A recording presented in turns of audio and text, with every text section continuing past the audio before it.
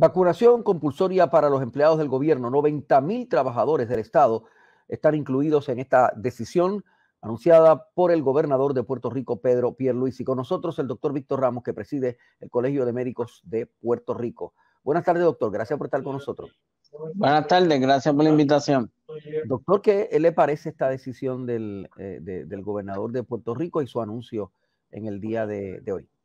Bueno, yo creo que es la, decisión correcta. Estamos en un momento distinto de la pandemia, ¿verdad? Poder volver a restricciones de cerrar lugares, etcétera, sería complicado, ¿verdad? Ya se afectó la economía suficiente y la realidad es que si todos nos vacunamos, no hay por qué, por qué llegar a, estas restricciones. Así que a mí me parece muy bien que tanto eh, el gobernador como el resto de los patrones, patronos públicos y privados deben seguir la misma iniciativa y exigir la, la, vacunación, los defectos, las excepciones que, que, se tienen y a los negocios pedir la evidencia de, vacunación para entrar, especialmente los negocios que, que son cerrados de escenario mixto donde pueden ir personas vacunadas y no vacunadas. O sea, ¿usted cree que, eh, eh, que debería ser así, que debería, pero eso lo tiene que decidir las empresas, ¿no? Porque un centro comercial, pues si no estás vacunado no puedes entrar. E, Exacto. Sí, va, va, básicamente, eh, excepto los niños menores de 12 años, ¿verdad? Que no se pueden, que no se pueden vacunar y, sus papás los tienen que cuidar, pero, pero ciertamente todos los mayores de 12 años deberían, deberían estar, eh, estar, estar vacunados. Realmente eh, no, la, la evidencia está ahí, ¿verdad? Tenemos un repunte más grande que el repunte que hubo en marzo en cuanto a número de casos. Pero a diferencia de antes, que era fácilmente predecir, porque este virus será malo, pero en cuanto a, cómo funciona es bastante estable. Con la cantidad de casos, tú podías predecir cuántos iban a terminar el hospital y cuántos iban a fallecer. Ahora, a pesar de que tengo un repunte más grande de marzo, no tenemos eh, un aumento de hospitalizaciones como iba en marzo la cantidad de muertes en, eh, por ejemplo, en el repunte de diciembre, que fue en donde más muertes hubo, era uno en 50, ahora es uno en 400. Y eso es por el efecto de la vacunación, porque no hay nada distinto que no sea la, vacunación. Lo que sí, para los no vacunados, no solo eh, es por salud o por, y por, o por ir a algunas actividades, tienen más riesgo ahora del que tenían en marzo del 2020 la variante Delta es 40% más contagiosa que la variante Alfa, que fue la del, la del brote de marzo. Y ya Alfa era 40% más contagiosa que la original. Se reproduce el virus mil veces más en el tracto respiratorio que el original.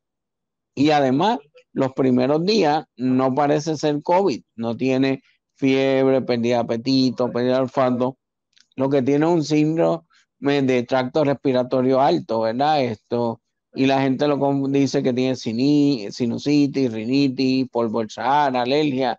Entonces, el cuarto o quinto día, después que ha estado infectando personas, pues entonces empiezan los síntomas de la fiebre y los otros síntomas que se asocian más al COVID. Así que, que los no vacunados tienen múltiples razones para, para vacunarse. Primero por salud, después porque es más riesgoso ahora que en marzo porque pueden entrar actividades eh, deportivas, eh, artísticas, así que, que y eh, ahí está la muestra de que la vacuna es sólida y segura, es que tenemos un repunte mayor, pero no la situación en los hospitales no está igual como fue en marzo.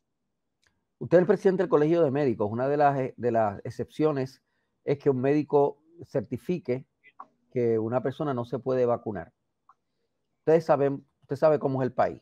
A lo mejor hay alguien que no quiere vacunar, si va a su médico y le dice, mire, doctor, yo no me quiero vacunar. Realmente no, es que yo, pues soy alérgico al polvo y eso, y, no me quiero vacunar, soy alérgico a, eh, qué sé yo, soy alérgico a las galletas, a los flan, al flan de y, eh, y los médicos van a, van a decir, ok, pues no te vacunas, te voy a preparar un certificado, o, o eso no va, no va a ocurrir.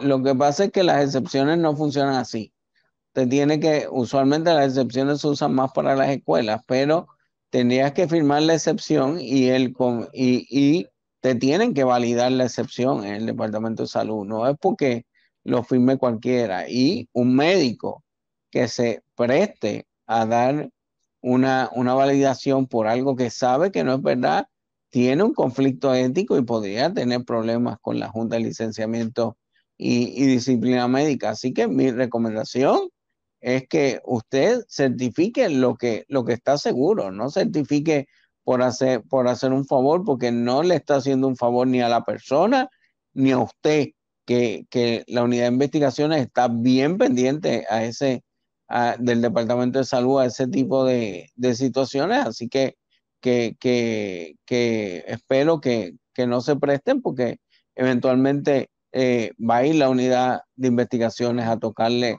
a la puerta de su consultorio.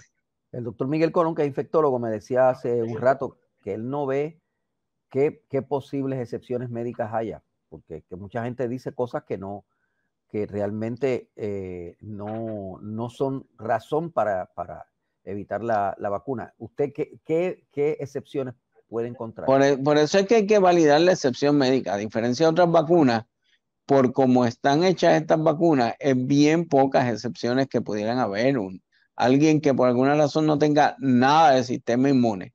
Eso son bien poquitas personas que, que eso ocurriría. Pero, por ejemplo, por tener cáncer, diabetes, hipertensión, HIV, eh, y, uh, esclerosis múltiple, lupus, lupus, nada de eso es una, una exclusión a, esta, a esta vacuna. La única exclusión es una reacción, no para que no se vacune, para que, por ejemplo, no vaya y se vacune en un centro comercial o en, en el distrito eh, T-Mobile que nosotros tenemos un centro de vacunación es que usted sea alérgico severo. Para alérgico severo es que le dio anafilaxis.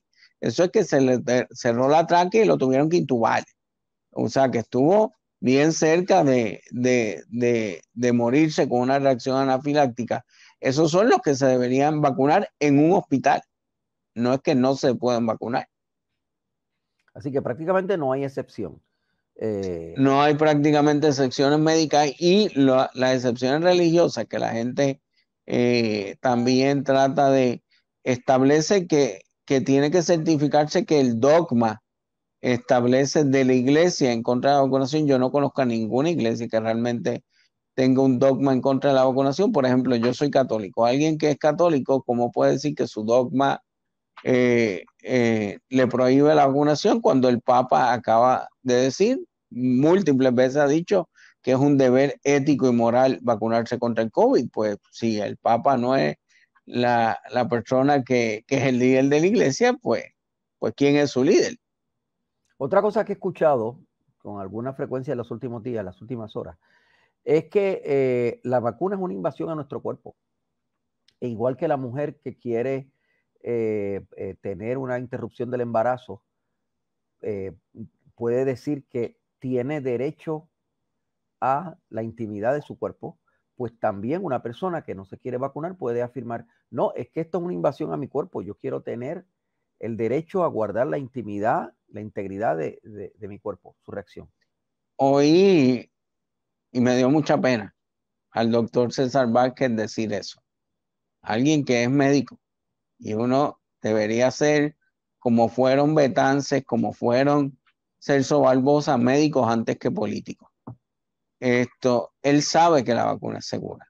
Él sabe que la vacuna está respondiendo a estos discursos eh, religiosos que, configuran su partido. Pero está a decidir si, si él decidió ser otro politiquero más o ser, o ser médico. Como médico, él sabe que lo que está diciendo es absurdo. Ya, eso de la, de la doctrina de la no invasión de la privacidad, eso no, no corresponde aquí. No, claro, no. Él, para cualquier cosa, él termina hablando del aborto.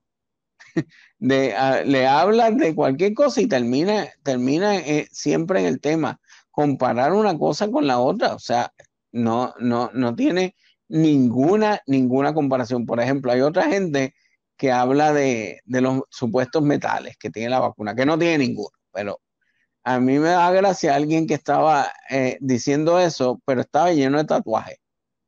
Los tatuajes para que se puedan ver, necesitan eh, la tinta que se pone, tiene metal, porque si no, no se ve. No estoy hablando mal en contra de los tatuajes, ¿verdad? Si se lo hace en un centro eh, certificado, eh, no, no hay problema.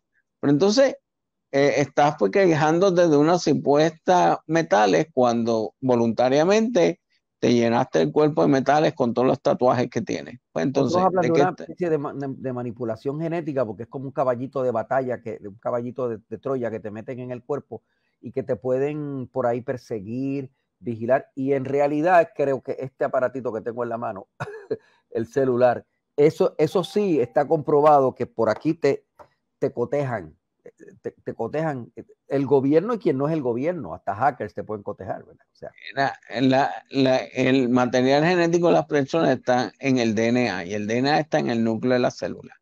Nada de esto entra al núcleo de la célula porque este virus es un virus de RNA. Sencillamente, lo que tiene la vacuna es una molécula de grasa que se disuelve básicamente en cuanto entra al cuerpo y las instrucciones de hacer anticuerpos contra el spike del virus. Y la, vacuna Johnson tiene un vector que es un adenomiru que se le quitó la capacidad de reproducirse y, básicamente en cuanto entra también se, se desaparece. Y no tiene, ningún transmisor de, no tiene ningún transmisor de nada para ningún lado. No, no tiene ningún transmisión de nada para, para ningún lado, no tiene un chip, eh, la, teoría, alguien que estaba trabajando más el techo de mi casa que yo y más, más, más de esto era que, vacunaron primero a los profesionales de la salud porque cuando prendieran interruptor para que todo el mundo se muriera, los primeros que se iban a morir eran los profesionales de la salud y por lo menos, por lo tanto, no iba a haber nadie que te pudiera salvar cuando te tocara a ti. O sea, a ese nivel llega. Sí. ¿Por qué tenemos el repunte? ¿Solo porque tenemos una variante más agresiva o porque nos descuidamos, nos fuimos de vacaciones al oeste del país? Porque allí en el oeste hay, hay este, más repunte que en otros lados.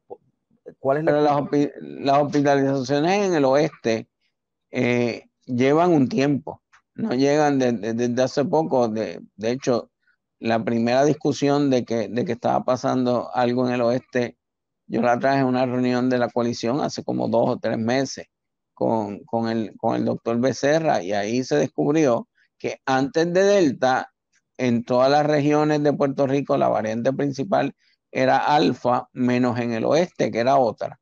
Y estaban en la, investigación de qué era lo que estaba pasando en el oeste. Pero ciertamente la variante Delta es mucho más contagiosa y es la responsable de, de este repunte de casos porque ha sido la responsable de un repunte global, donde único, eh, el único continente donde el repunte se debe a otra variante es Sudamérica, que es la gama de Brasil, pero en Norteamérica, en Europa, en Asia, en África, en países que estaban bastante bien controlados como Australia, Nueva Zelanda, Singapur, lo vemos ahora mismo en Tokio, en las Olimpiadas, en Japón, eh, y ciertamente en todos los estados de Estados Unidos que está subiendo en todos, pero donde está habiendo problemas en los hospitales y en los intensivos es donde hay menos de 50% de vacunación, siendo Florida ahora el epicentro de esa situación y especialmente para nosotros importante el condado de Orlando, que incluye Orlando, Kissimmee, Lakeland, donde están la mayoría de, los puertorriqueños en, Florida. Básicamente 100% de las unidades del condado de Orlando están llenas de unidades de intensivo. Y, pero, pero, ¿y qué está pasando en el oeste? ¿Qué, explicación hay para lo que, lo que está pasando? No son las vacaciones porque está pasando hace tres meses. Estaba pasando desde antes, ahí eh, está investigándose qué estaba pasando antes, pero ahora sí parece que ser Delta lo que está ocurriendo en todo Puerto Rico, particularmente en el oeste, sí. Muy bien. ¿Por qué eh, eh, o qué va a pasarnos con, la, con el inicio de clase, con esta variante Delta y con un sector de, los niños que no se pueden vacunar. Doctor. La guía que estableció el Departamento de Educación y, la estableció el doctor Miguel Valencia, mi profesor en, el Hospital Pediátrico de Neurodesarrollo, alguien que tiene toda la credibilidad entre la comunidad pediátrica establece nueve puntos y la idea de la guía es establecer un, una burbuja y un escudo protector contra, especialmente contra los nenes que no se pueden vacunar. Por eso es obligatorio que todos los niños mayores de 12 años y todo el personal eh, docente y no docente esté, esté vacunado. Más incluye, además de la vacunación, las pruebas, el rastreo, el distanciamiento, el lavado de manos, el uso de mascarillas compulsorio para, todo el mundo. Son nueve estrategias que, que, está estableciendo el, Departamento de, Salud a través de esa guía para asegurarnos. Ah, que van a haber casos en la escuela, van a haber casos, igual que hay casos de influenza, igual que hay casos de micoplasma. Y entonces, después, si hay algún caso, hay que decidir si es un caso aislado, si es un caso que haya que cerrar un salón, si es un caso que haya que cerrar la escuela, pero la determinación salud la va a hacer en 24 48 horas, no va a estar una semana pensando en el análisis de la situación. Gracias por estar con nosotros, doctor. Gracias por, Siempre, por el análisis. El gobierno de Puerto Rico emite orden ejecutiva para presionar hacia la vacunación forzada, eh, vacunación prácticamente obligatoria a los empleados del gobierno. Son 90 mil empleados cobijados para esta orden ejecutiva. La única excepción son condiciones de salud que no lo permitan o eh, una eh, evidenciada objeción de conciencia objeción por razones religiosas. El infectólogo Miguel Colón está con nosotros para reaccionar a esta decisión del gobernador de Puerto Rico. Buenas tardes, doctor. Muy buenas tardes, Penchi. Gracias por tenerme esta tarde. Eh, ¿Qué le parece esta decisión del gobierno de Puerto Rico? ¿Es correcto? Bueno, eso era algo que era, que era necesario y verdaderamente nosotros en, en uno de mis hospitales que yo, donde yo laboro como eh, presidente del Comité de Control de Infecciones, nosotros ya establecimos esto hace dos semanas. Así que las compañías privadas ya lo están haciendo. Nosotros vamos a obligar a todos los profesionales de salud que laboran en este hospital que tienen que estar vacunados. Si no se vacunan, tienen que hacerse la prueba semanal. ¿Por qué? Porque están poniendo en peligro a nuestros pacientes. Esta variante Delta es un juego completamente nuevo. Esto no es la, variante, lo que vino de China. Delta es algo extremadamente infeccioso, extremadamente peligroso, que está matando a nuestra juventud. Por lo tanto, en momentos de crisis tenemos que tomar medidas agresivas. Por lo tanto, yo estoy de acuerdo que el gobernador haya cerrado, haya obligado a los empleados del gobierno a vacunarse. Verdaderamente yo no entiendo qué religión puede estar en contra de la vacunación. Tiene que ser alguna sexta esta media rara. Y en cuestiones de salud, no hay ninguna contraindicación para la vacuna, ninguna condición. Además, mientras más inmunosuprimidos, más necesitan la vacuna porque esos son los que más se mueren aún con la vacuna. Así que verdaderamente el único modo que, estos, que estas personas inmunocomprometidas se pueden salvar de Delta, su única oportunidad es estando vacunados. De hecho, doctor, eh, se ha planteado, yo lo he escuchado así como una cosa anecdótica de gente que dice, ay, yo soy muy alérgico, yo no me puedo vacunar. ¿Los alérgicos se pueden vacunar o no se pueden vacunar? Claro que se pueden vacunar, eso sea más que demostrado que se pueden vacunar. Además, llega el punto que los pacientes que desarrollan una reacción alérgica a la primera vacuna no desarrollan la reacción alérgica a la segunda. Así que hasta ese punto eso sea más, sea más que estudiado y sea más confirmado en todo el mundo después de millones y millones de vacunas que se han puesto. Así que ese cuento de que yo soy alérgico hasta mirarme en el espejo, no hay ninguna razón científica para eso. Y en cuanto al planteamiento de que de todos modos la gente se está enfermando aunque se vacune y que supuestamente, ¿verdad? Hay eh, gente vacunada que ha muerto de COVID-19. Eso no está sustanciado en ningún, eh, en ningún reporte que haya, dado el Departamento de Salud, ni el Colegio de Médicos, ni nadie, pero hay gente diciendo eso, que, que no, no, vale la pena vacunarse porque uno se va a enfermar y además se puede hasta morir de, eh, después de, vacunarse. Lo que, lo que se llaman breakthrough infections son aquellos pacientes con, que tienen la vacuna completa, o sea, sus dos dosis y se infectan con COVID. Sí ocurre, es el menos del 1% de todos los vacunados, full vaccination les da COVID. Usualmente le da mucho más leve, lo que le da es una monga, una monga, verdaderamente como cualquier otra monga, y el menos del 0.1% de esos que se infectan, esos son los datos del CDC al día de ayer, al día de ayer, el 0.1% de esos puede tener enfermedad severa y morir. Ese punto 1%, la gran mayoría son pacientes bien envejecientes con condiciones de comorbilidad, o sea, enfermedad pulmonar o enfermedad cardíaca, y aquellos pacientes severamente inmunocomprometidos, como son los pacientes de cáncer en quimioterapia activa o los pacientes de trasplante. Así que es una población bien específica donde vamos a ver la mortalidad. Y estas son personas que de todos modos están en riesgo de morir con cualquier cosa, ¿verdad? Si tienen... Claro, definitivamente. Al revés, lo único que los puede salvar a ellos con COVID es la vacuna. La única oportunidad que ellos van a tener de por lo menos poder sobrevivir un ataque de COVID es que la inmunidad producida por la vacuna los proteja para que no le dé lo que llamamos siempre y lo hemos seguido llamando el cytokine storm, que es la tormenta de citoquina, que es verdaderamente lo que mata al paciente de COVID y para lo que verdaderamente no tenemos absolutamente nada que verdaderamente funcione.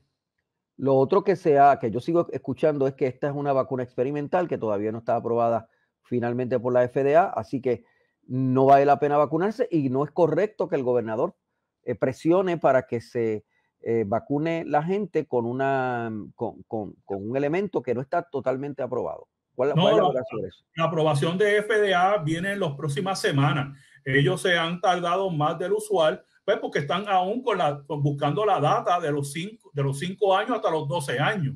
Y ese, esos estudios de los cinco años hasta los 12 años se, se ha prolongado más de lo esperado. ¿Por qué? Porque estamos viendo que en pacientes jóvenes, niños, especialmente varones, con COVID, muchos de ellos sufren de inflamación del corazón, lo que se llama una miocarditis. Y también sabemos que secundaria a la vacuna puede ocurrirle una miocarditis. Así que se está buscando cuál es la diferencia y hasta ahora lo que se ha demostrado es que aquellos pacientes con infección natural de COVID les da a los niños de entre 5 y 12 años seis veces más inflamación del corazón que lo que da con la vacuna. Así que aún para esta, esta complicación en niños varones, aún la vacuna los protege en contra de la miocarditis. Ricky Méndez, el alcalde de, Isabela, eh, es un paciente que tiene problemas con las vías respiratorias. Se sentía un poco afectado por las vías respiratorias y fue a su médico. Y el médico le hizo, está vacunado completamente. El médico le hizo eh, exámenes, los exámenes de rutina de, una persona que tiene este tipo de condición, creo que era un neumólogo, y eh, resultó con COVID-19 y ahora está hospitalizado. ¿Cuán común es esto? Doctor? Eh, bien raro, extremadamente raro. Yo recibo llamadas casi todos los días de gente que no sé cómo consiguen mi teléfono, pero lo consiguen y me llaman de familiares, amigos que están que tienen la vacuna completa y se y le ha dado síntomas de ultramonda y se han hecho la prueba de COVID y han salido positivos. Ninguno de esos se ha tenido que hospitalizar, ninguno de los que me ha llamado a mí. Sí hemos tenido, hemos visto, no mío, gracias a Dios, pacientes vacunados que están en el hospital. Pero como te digo, los que hemos visto otra vez, se ve mayores de edad con condiciones de comorbilidad como este COPD, los, que fuman, los que tienen enfermedad estructural de pulmón, los pacientes cardíacos y los inmunosuprimidos. Y, y yo sé de una muerte que hubo, pero otra vez, bien, señor, paciente bien mayor y este, con problemas respiratorios severos. Así que sí ocurre, no, están, lo único 100% de la medicina es la muerte. Así que no hay tal cosa como una vacuna 100%.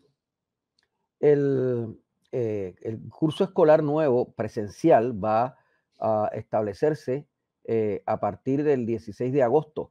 el requisito para los maestros que van a dar clases presencialmente es que tienen que estar vacunados y también se, espera que se vacunen todos los estudiantes que se pueden vacunar, pero va a haber un número sustancial de estudiantes que no se van a, poder vacunar porque todavía la vacuna no está aprobada para ellos, los menores de 12 años. ¿Cuál es el riesgo aquí eh, en su apreciación? Bueno, eh, no hay duda que los niños de escuela elemental, que son los que son menores de 12 años, que son más o menos como sexto grado, ninguno va a tener la vacuna. Se supone que todo el mundo mayor de 12 años, o sea, de sexto grado en adelante, o sea, escuela intermedia y escuela superior, todos estén vacunados. Sí hay un riesgo, definitivamente hay un riesgo porque son niños que no están vacunados, que les da relativamente leve. Hasta ahora le ha dado relativamente leve, pero hemos visto pacientes niños con Delta que le ha dado severo y hemos visto mortalidad en niños con Delta. Así que verdaderamente sí es un riesgo y más con la tasa de 7%. Todo esto es beneficio versus riesgo y si seguimos las medidas del uso de mascarillas, de la higiene, del distanciamiento social, yo espero que no haya ningún problema Acaba de salir un artículo antes de ayer en una revista de medicina de enfermedades infecciosas que estipula que el uso del enjuague bucal en niños disminuye la carga viral considerablemente. Así que mi recomendación a las escuelas es que tuvieran un, un no, listerín, este, y entonces se enjuaguen la boca de los niños tan pronto lleguen a la escuela y tan pronto salgan de la escuela para disminuir la carga viral que, que lleven en su boca. Esto es un estudio excepcional, eso es algo benigno que hacen en sus propias casas, pues sería reforzarlo en las escuelas. ¿Por qué, por qué tenemos, teníamos una tasa o teníamos un, un, nivel de positividad de 1.3 y estamos en 7%? O sea, ¿Por qué está? Una semana, en dos semanas. ¿por qué? Tiene nombre y apellido, se llama la variante Delta. Ya el, el 85% de los casos nuevos diagnosticados en Estados Unidos son por Delta. En Puerto Rico no. Come on, give me a break. Claro que tenemos que tener una incidencia alta de Delta y por lo tanto, es por eso es que estamos viendo el aumento en prevalencia.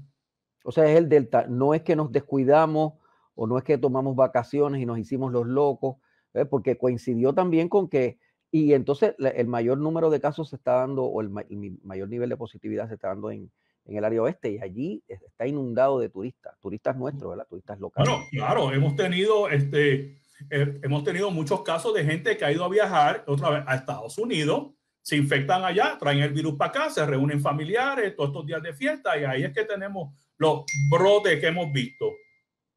Este no es momento para viajar, doctor. O sea, no, usted no recomendaría el viaje.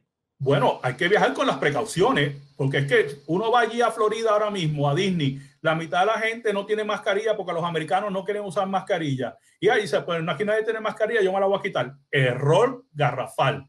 Si tú no viajas, tú te quedas con tu mascarilla puesta todo el tiempo, excepto cuando estés comiendo. Es tan sencillo como eso. Te sigues lavando las manos, te sigues con tu distanciamiento social, pero si tú vas a hacer, si vas a hacer las mismas monerías que están haciendo allá afuera, estás buscándote problemas. se puede viajar, pero hay que seguir usando mascarilla, hay que seguir haciéndolo. Claro.